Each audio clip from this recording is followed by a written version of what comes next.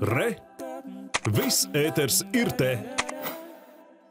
На этой неделе пришла новость из Даугавпилса. Трудности у другого крупного предприятия, локомотиворемонтного завода.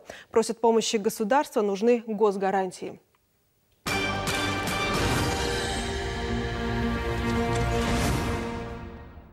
Спасать нет, такое решение в ближайшее время предстоит принять правительству.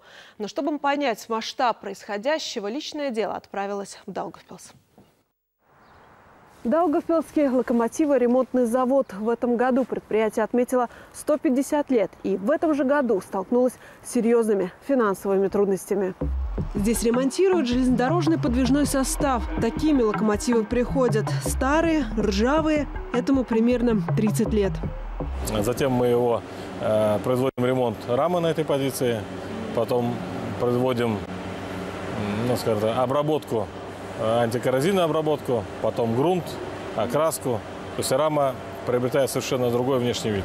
Другой тепловоз уже приобрел свежий вид. Прямо на наших глазах его поднимают. Дальше он пойдет на сборку. Ему установят двигатель, оборудуют кабину машиниста. Как здесь говорят, поставят начинку.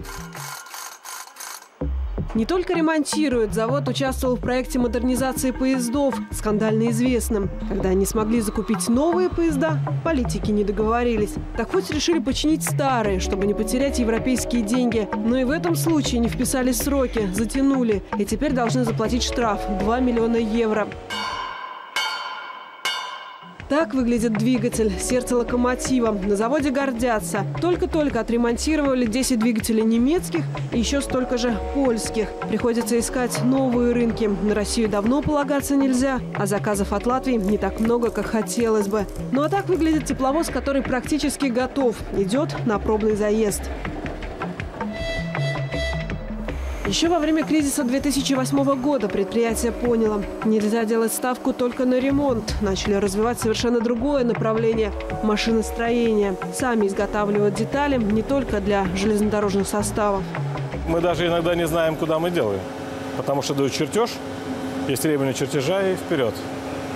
А куда, где там закрутится он, каком, на каком судне или какой там Тойоте заработает, мы не знаем. Иногда бывают уникальные, можно сказать, штучные заказы. Недавно отливали забор для католической церкви.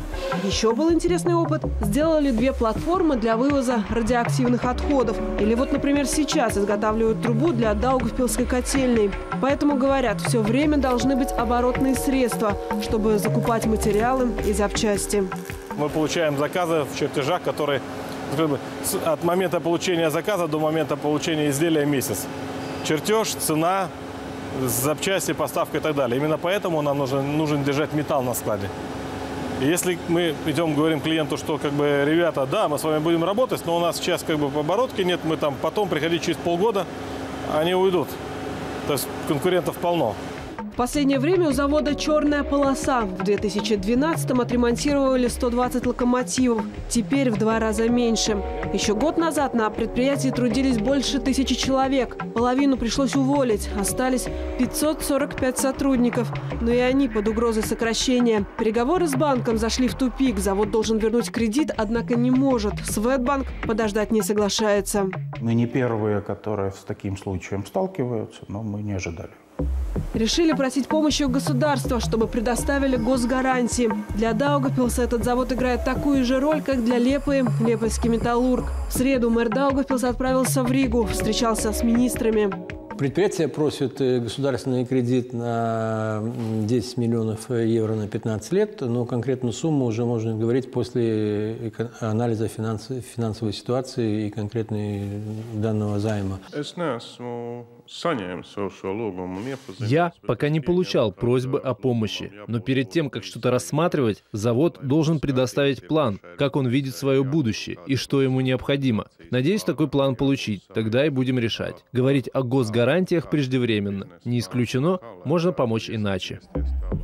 На вопрос, что будет, если государство откажется подставить плечом, на заводе отвечают так.